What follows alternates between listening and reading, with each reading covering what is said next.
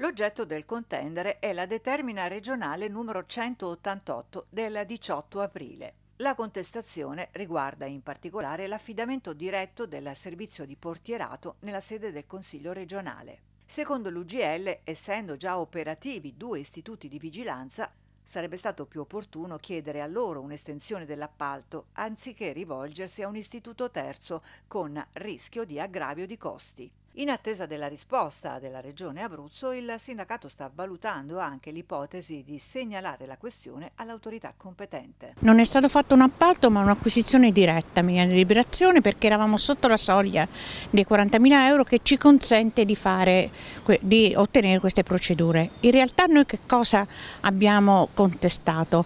Nel Consiglio regionale, la Regione Abruzzo ha già due aziende che si occupano appunto di sicurezza civile e, e due già aziende che operano con bando di gara regolare.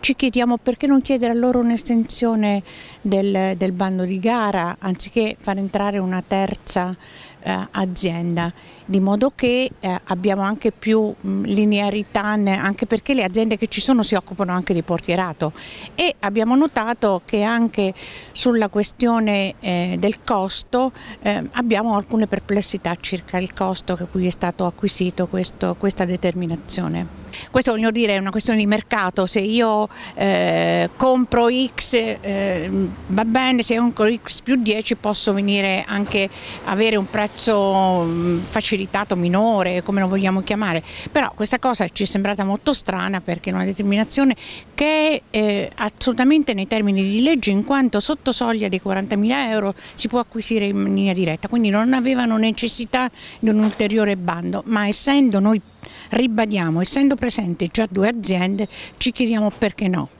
Avete sottoposto la questione all'amministrazione regionale o al Presidente Marsili? Sì, sì, sì, abbiamo mm, scritto già, aspettiamo risposte.